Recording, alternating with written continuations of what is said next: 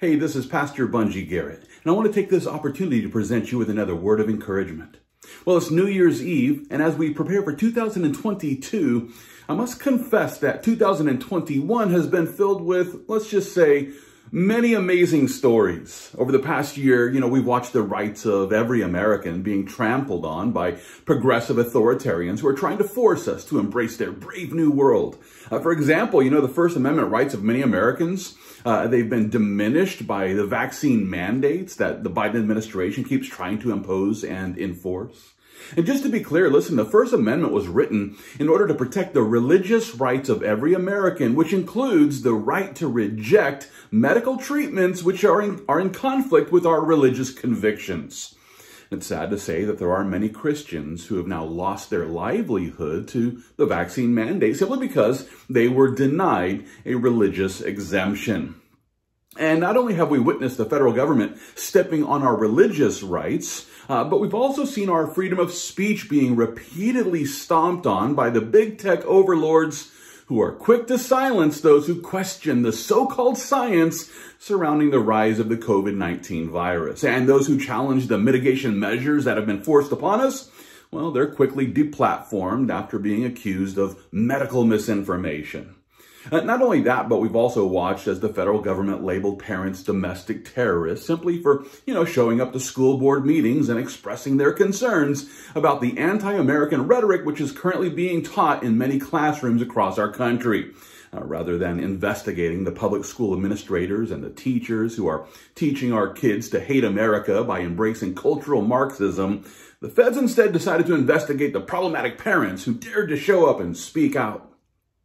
This is all despite the fact that the First Amendment gives us the right to peaceably assemble and to petition the government for a redress of grievances. We've also watched our Second Amendment rights being challenged by those who just really don't understand that the right of the people to keep and bear arms shall not be infringed. Uh, just for example, just consider the recent Kyle Rittenhouse case that led, uh, you know, uh, the, the world to, to watch, you know, as, as we considered, you know, how this case would turn out. And, and the lead prosecutor argued that Rittenhouse actually lost the right to self-defense by bringing an AR-15 to the protests there in Kenosha.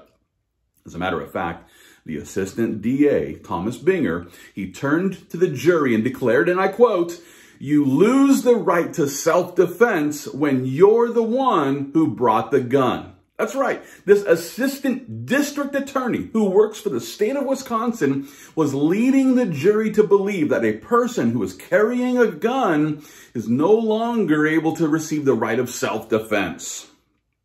This is despite the fact that our Bill of Rights guarantees us with the right to keep and bear arms without infringement.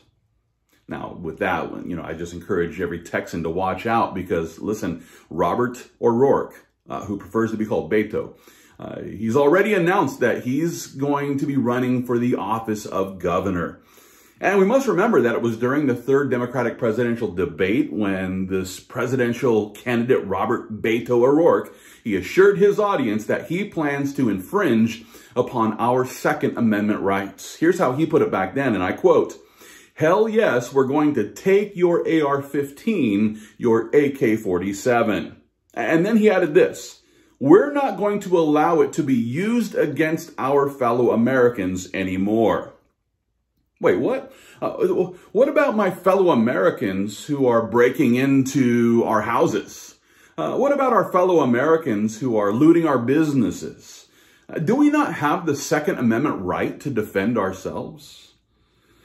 Well, now that Beto has announced his run for the governor's office here in Texas, every Texan should be very concerned about this progressive politician who clearly does not care about our Second Amendment rights here in our country.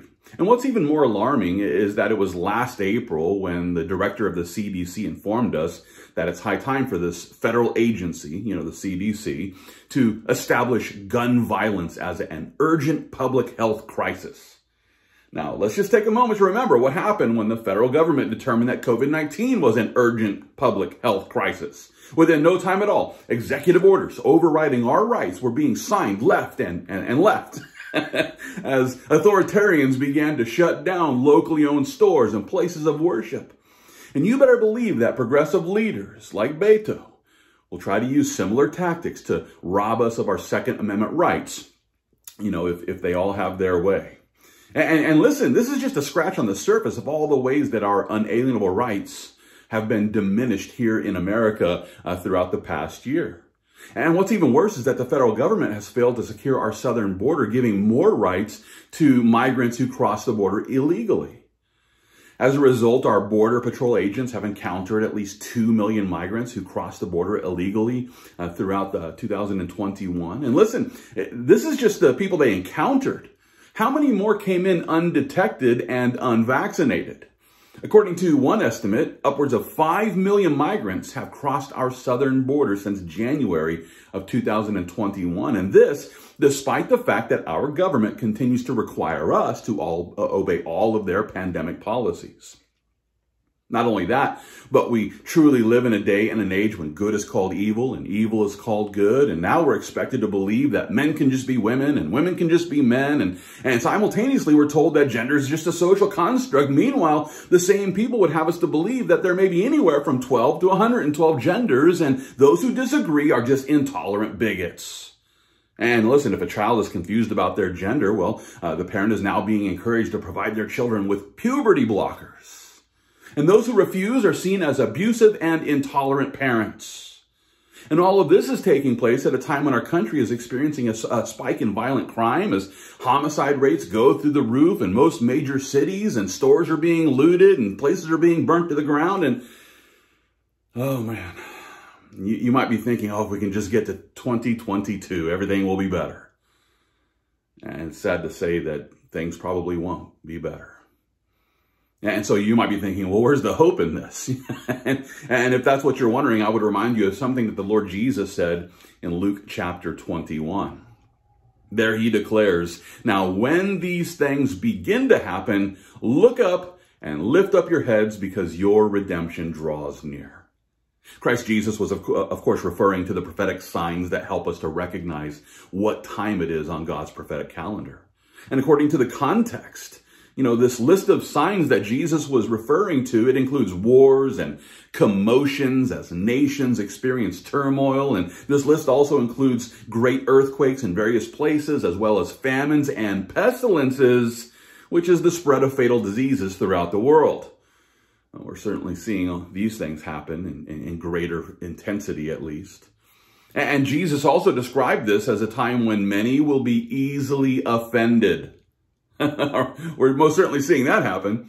As a result, you know, people will begin to betray one another and they're going to hate one another. And, and according to Jesus, lawlessness will abound as the love of many grows cold. And, and according to Jesus, when we begin to see these things happening here in this world, and as we see them happening with greater frequency and intensity, this is the time for us to look up and lift up our heads because our redemption is drawing near.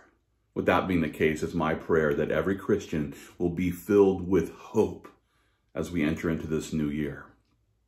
And as we continue to watch this world being prepared for the rise of the Antichrist, and as we continue to watch lawlessness abounding as the love of many grows cold, we should be filled with hope.